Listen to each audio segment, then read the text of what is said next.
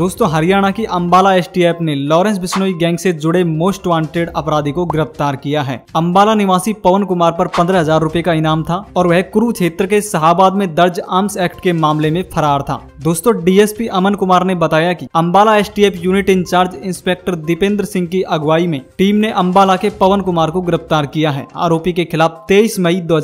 को शहाबाद पुलिस थाने में arms act की विभिन्न धाराओं के तहत केस दर्ज हुआ था आरोपी आरोप पुलिस ने पंद्रह रुपए का इनाम भी घोषित किया हुआ था